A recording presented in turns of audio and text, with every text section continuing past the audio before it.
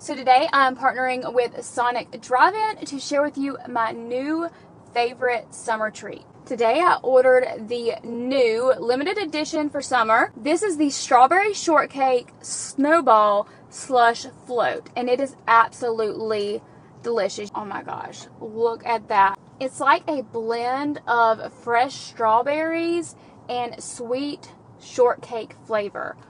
Oh my goodness.